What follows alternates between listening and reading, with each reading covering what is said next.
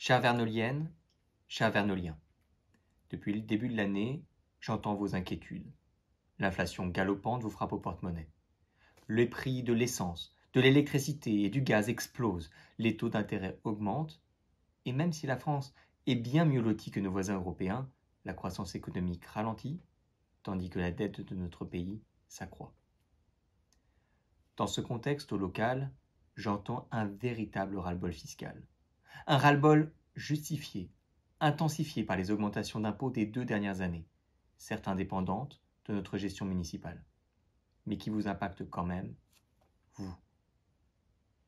Cette année, vous pouvez vous en douter, le budget de notre ville sera aussi impacté par l'inflation que le sera votre budget de famille.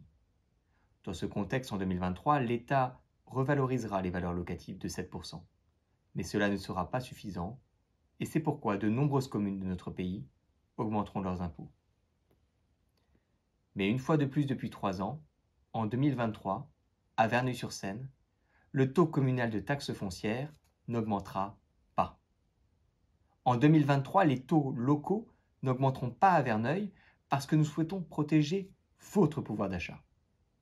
En 2023, les taux locaux n'augmenteront pas à Verneuil parce que nous poursuivons notre travail consistant à optimiser au mieux les budgets de la ville. En 2023, les taux locaux n'augmenteront pas à Verneuil parce que nous procédons aussi à des mesures d'économie inédites avec par exemple la fermeture de l'espace Maurice Béjart pendant deux semaines en janvier dernier. En 2023, les taux locaux n'augmenteront pas à Verneuil parce que nous accentuerons notre politique de recherche de subventions.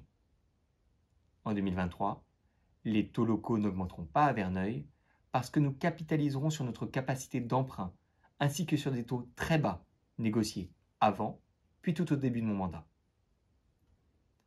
La décision de ne pas augmenter les taux communaux de taxes foncières sur notre commune, c'est le fruit d'une concertation avec les élus de la majorité municipale.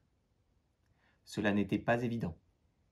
Augmenter les impôts aurait été sans doute la solution de facilité face à l'inflation directe et indirecte, mais aussi face à la nouvelle dette de 1,2 million d'euros dont nous héritons du passé pour tourner la page de la marina sur la pointe de Verneuil. C'est donc une décision forte que j'assume et qui marque la fin de l'abondance. Cela nous forcera à innover afin de continuer à investir et à porter des projets pour notre ville, pour vous. Je reviendrai d'ailleurs prochainement vers vous sur nos différents projets d'investissement sur la commune. Je reste sur cela à votre disposition pour toute question ici ou par email à maire 78fr